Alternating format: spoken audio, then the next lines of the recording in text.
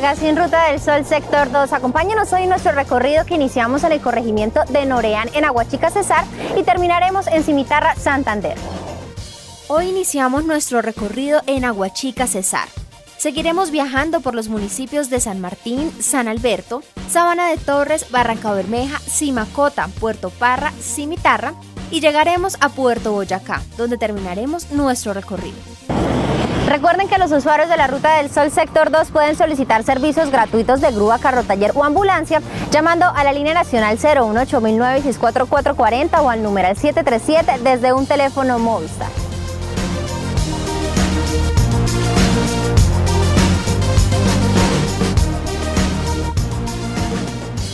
En la Ruta del Sol Sector 2 acortamos distancias y multiplicamos oportunidades.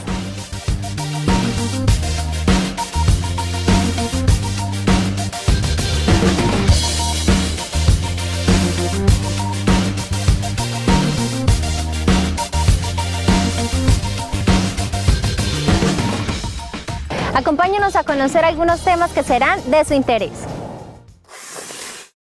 Estamos aquí celebrando, sembrando árboles con la comunidad para la protección de la quebrada de Noreán.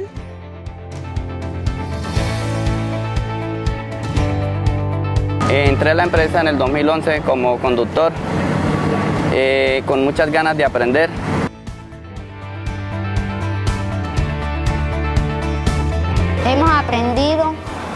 Donde pasa la carretera sector 2.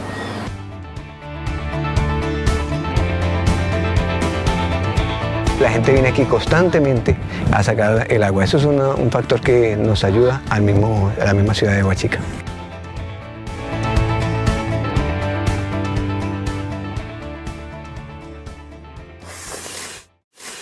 Iniciamos este viaje en el corregimiento de Noreán, ubicado a pocos minutos del municipio de Aguachica.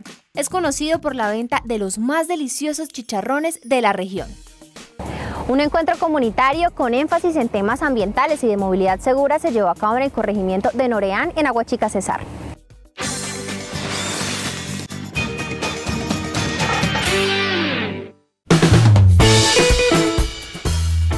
Un encuentro con la comunidad de Noreán en Aguachica Cesar realizaron el consorcio constructor Ruta del Sol con Sol y la concesionaria Ruta del Sol.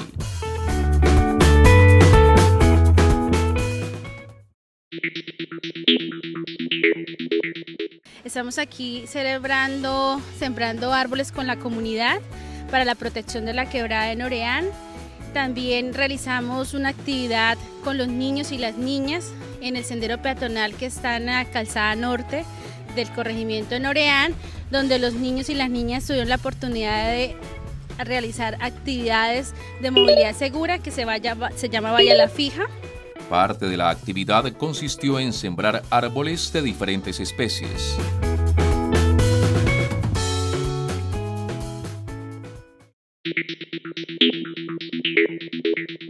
Se están plantando alrededor de 110 eh, árboles de varias especies nativas, entre las cuales eh, tenemos caracolís, tenemos majaguas. Esto es un beneficio en cuanto a nuestra comunidad porque estamos en reforestación en la cuenca de la quebrada. Estas actividades se llevan a cabo a lo largo de la carretera como una forma de compensación ambiental. Pues, se van a desarrollar estas actividades en diferentes quebradas que cruzan por el proyecto vial, eh, dentro de lo que son actividades de compensación, actividades de enriquecimiento con, con especies nativas para, digamos, eh, las comunidades que, que están, digamos, a lo largo de todo el proyecto. Los habitantes de Noreán resaltan la importancia de estas actividades que integran a la comunidad alrededor de temas ambientales y reconocen el trabajo en este campo que se hace en la construcción del proyecto vial Ruta del Sol Sector 2. Esto es muy importante porque es que el, ese que el árbol el, el, árbol es la vida del agua, la vida de todos nosotros. ¿sí? Nosotros necesitamos que haya, que haya buena sombra, buen sombrío, porque habiendo buena sombra, el agua nos puede llegar con más, con más fortaleza. Por las partes, por los cuerpos de, trabajo que tienen. Eh, veo harta gente trabajando en, la voluntad de, de hacerle eh, llegar a la comunidad de de hacerle ver el proyecto que se está haciendo sobre la arbolización de esta fuente que tenemos. Los encuentros comunitarios acercan a los habitantes de estos municipios al proyecto vial.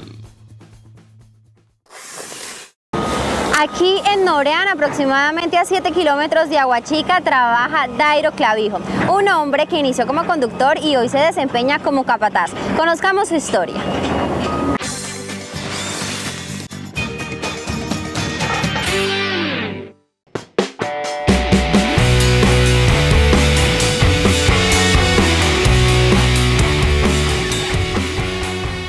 Dairo Clavijo es un hombre dedicado a su hogar y a sus dos hijos. Antes de ayudar a construir la doble calzada, trabajaba como conductor de taxi. Entré a la empresa en el 2011 como conductor, eh, con muchas ganas de aprender. Siempre de que entré, o sea, mi sueño era crecer dentro de la empresa. Eh, siempre desde que entré he entrado con buenos líderes y aprendí mucho de ellos. Es la primera vez que trabaja en la construcción de una obra vial. Sus ganas de crecer y salir adelante le han servido para ascender dentro de la empresa. Siempre estuve muy pendiente de todo lo que se hacía, cómo se hacía, qué no se podía hacer, cómo se podía hacer. Siempre la obra fue en mi mente en todo momento. Así yo no tuviera el cargo que tengo ahora, siempre hablaba con mi jefe, jefe, mire, esto se puede hacer, esto no se puede hacer. Siempre le daba muchas sugerencias a mi jefe. Todas las historias de los integrantes de Consol que les contamos en este magazine tiene un común denominador. Personas responsables, soñadoras, inquietas, creativas y cumplidoras de su deber. La empresa vio en mí, o sea, un tanto potencial que pues gracias a Dios hoy soy capata. Muy buen capataz, muy buen jefe, eh, vive muy pendiente de nosotros, eh, respecto al trabajo eh, se, se desempeña muy bien. El proceso que él tuvo de conductor a capataz fue un proceso muy, muy bonito, eh, ya que esta empresa le da la oportunidad a nuestros integrantes, a nuestros compañeros, de poder surgir, de poder crecer. Dairo Clavijo, el conductor de taxi de Aguachica, ingresó a Consol como conductor de vehículo liviano y hoy es capataz, quiere seguir ascendiendo en la empresa.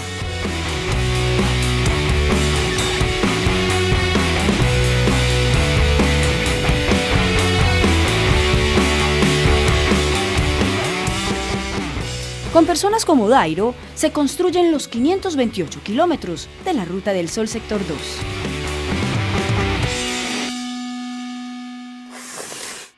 Seguimos viajando de norte a sur. Dejamos el corregimiento de Noreán y nos dirigimos hacia el casco urbano de Aguachica Cesar. La historia de este municipio inicia en el siglo XX con la llegada de los colonizadores árabes, palestinos y sirios, quienes explotaron la ganadería y la agricultura. En los años 50 empieza la construcción de la Troncal de Oriente y el ferrocarril del Valle del Río Magdalena, que convierten a este municipio en un lugar estratégico para el transporte de Colombia. Aquí en Villa Paraguay, una de las escuelas de Aguachica Cesar, ya se enseña la cátedra Enrutados con la seguridad vial.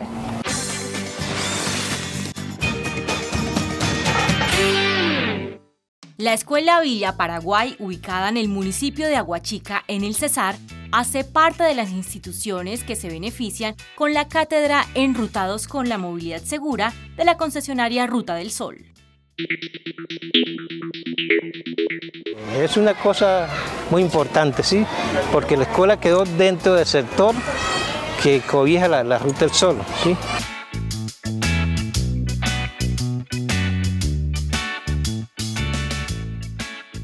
600 niños estudian en esta institución a donde llegó el año pasado la cátedra Enrutados con la Movilidad Segura.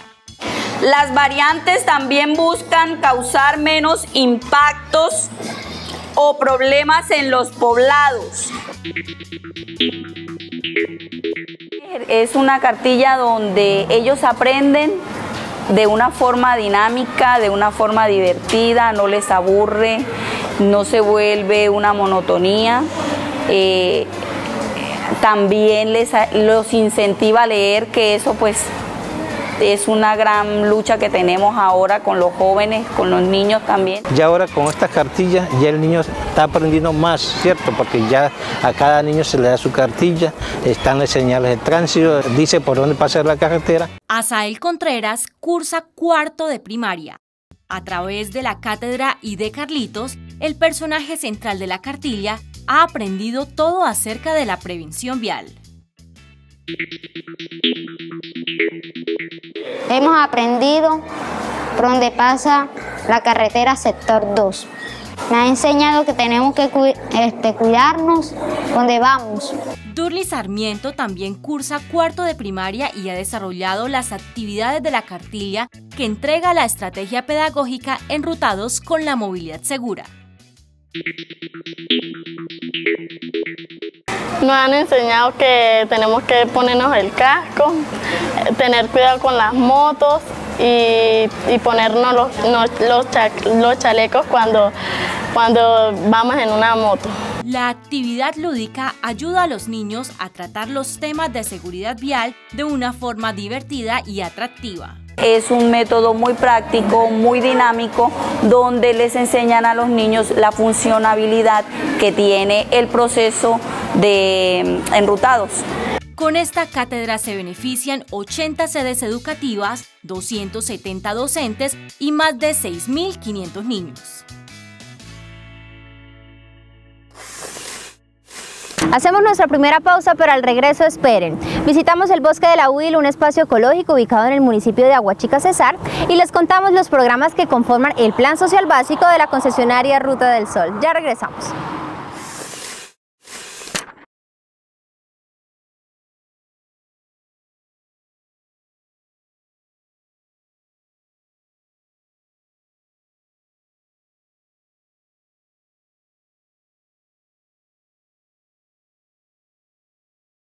El bosque de la conocido como el pulmón de Agua Chica, se ha convertido en un hogar de paso para los animales y actualmente cuenta con más de 200 especies de árboles y diferentes especies de animales.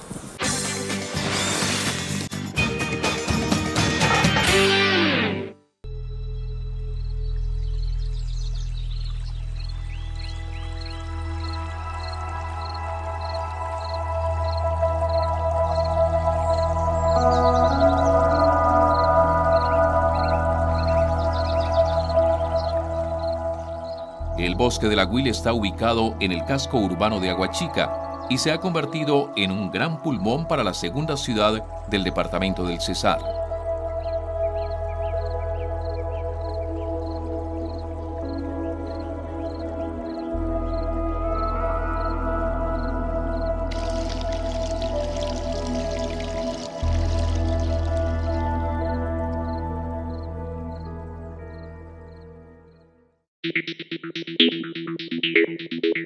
En ese espacio que, estamos, que tenemos en este instante, estamos nosotros conservando 36 nacederos de agua, que son los que eh, surten a una, dos albercas que tenemos aquí detrás de ustedes.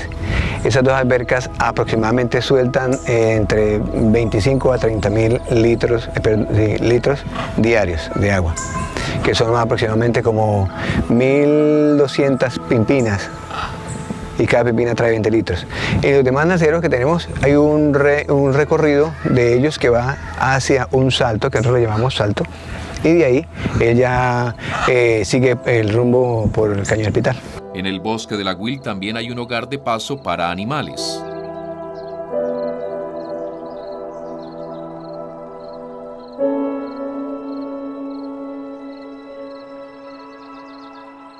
Tenemos eh, un pequeño hogar de paso que le llamamos zoológico, pero es un pequeño hogar porque son muy pocos los animales que tenemos y no son constantes, porque constantemente mantienen cambiándose o se liberan o otros se autoliberan ellos mismos, ¿sí entienden? Luego dejamos salir, los acostumbramos a caminar por ahí y el tiempo ellos se van para que ellos cojan su hábitat nuevamente. Estos animales no todos pueden ser liberados unos sí, otros no. Por ejemplo, los tigrillos si los liberamos eh, se les pueden meter a las casas, se vuelven flaquitos porque ya no están comiendo lo normal que nos le está dando, porque un tigrillo caza en la semana una vez, porque ellos aquí adentro reciben medicina, reciben eh, monitoreo también de ciertos veterinarios y así sucesivamente. La importancia de este lugar para el medio ambiente y para la vida en Aguachica es evidente. Lo importante de este lugar para el ecosistema, primero que todo porque mm, es una parte eh, mm, selvática, digámosle así, y él produce mucho oxígeno para la misma ciudad.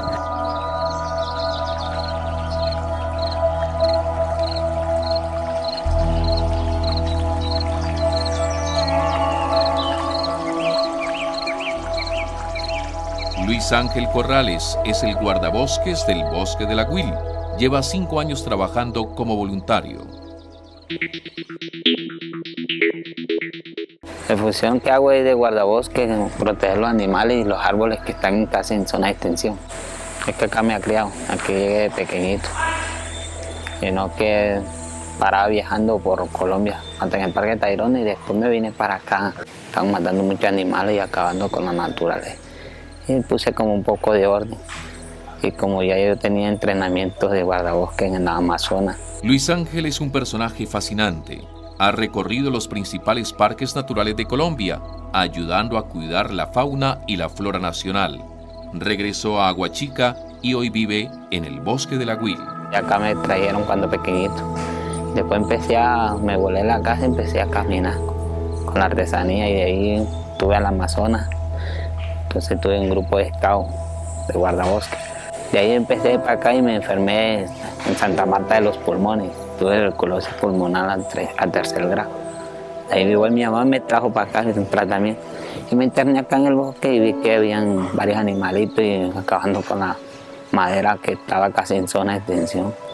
Y vi que había mucha planta medicinal y, árboles que era la vida y el pulmón de Aguachica. Me puse como a buscar recursos y que le metieran a mano al bosque otra vez. Agustín Manrique y Luis Ángel Corrales son los guardianes de este maravilloso espacio ecológico ubicado en medio de la ciudad.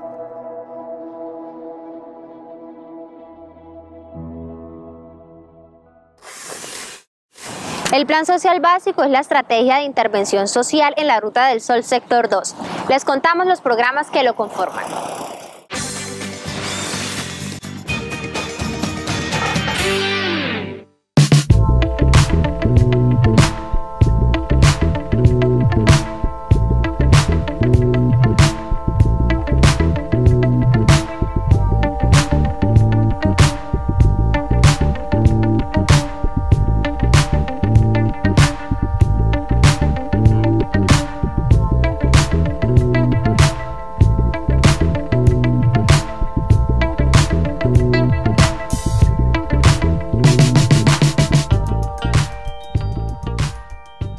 Nosotros estamos desde el área social liderando cuatro programas que son Rehabitar, Atención al Usuario, Vecinos e Iniciativas.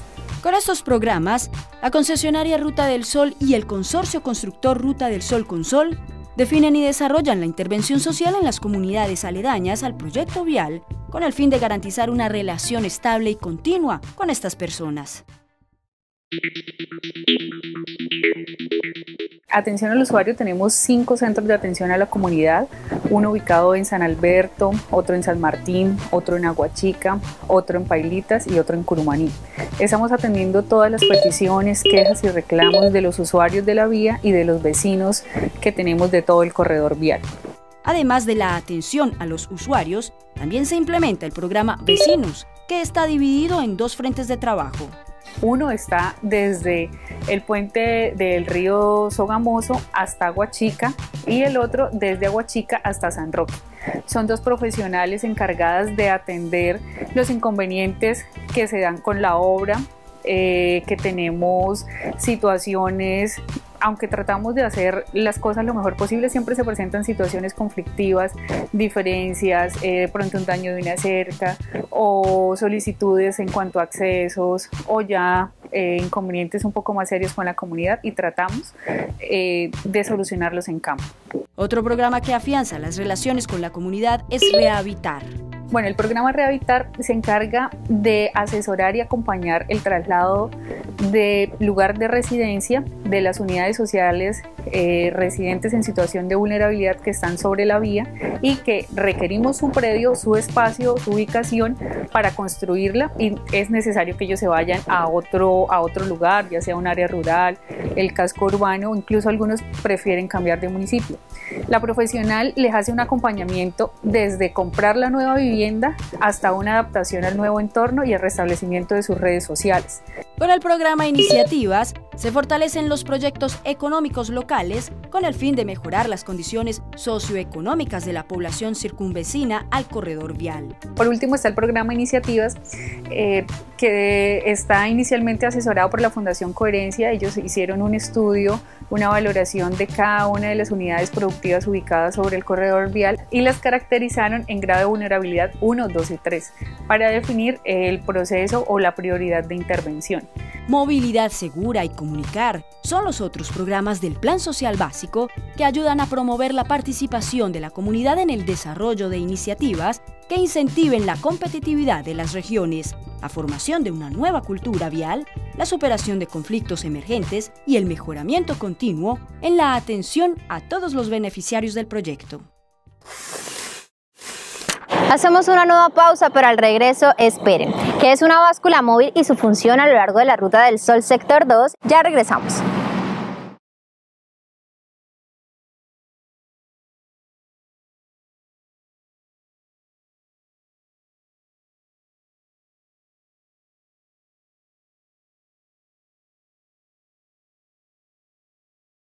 Dejamos Aguachica y continuamos nuestro viaje por los municipios de San Martín, San Alberto, La Esperanza, Sabana de Torres, Barranca Bermeja, Simacota y Puerto Parra para llegar a Cimitarra en Santander, un municipio que basa su economía principalmente en la ganadería y el cultivo de caucho y cacao.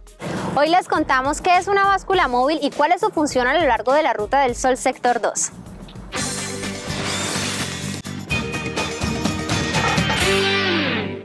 En Puerto Araujo encontramos la báscula móvil. El pesaje de los vehículos que transitan por la Ruta del Sol Sector 2 es uno de los servicios que presta la concesionaria Ruta del Sol.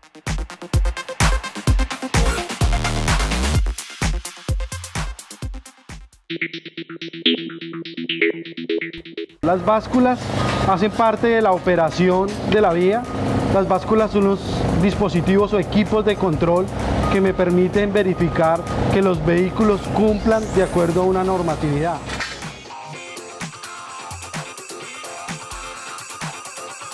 Este es un mecanismo de control que permite proteger el estado de la vía y verificar el peso de los vehículos de carga cuya capacidad supere las 3.5 toneladas.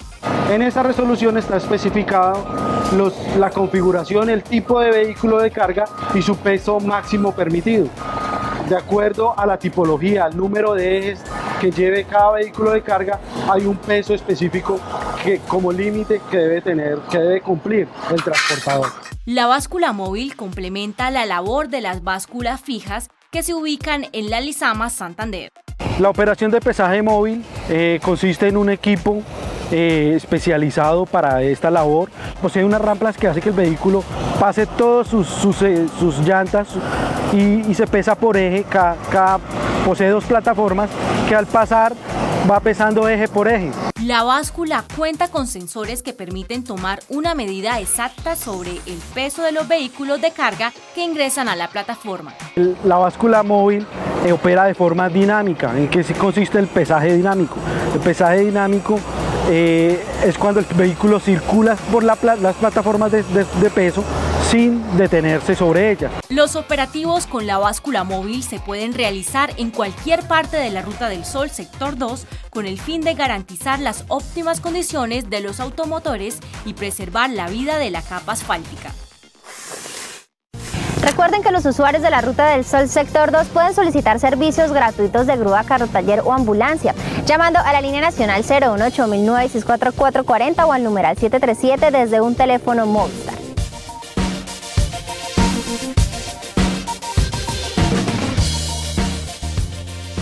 Si desea conocer más información, contáctenos a través de nuestras redes sociales. En Twitter, arroba C Ruta del Sol. En Flickr, concesionaria Ruta del Sol. O ingrese a nuestra página web www.rutadelsol.com.co.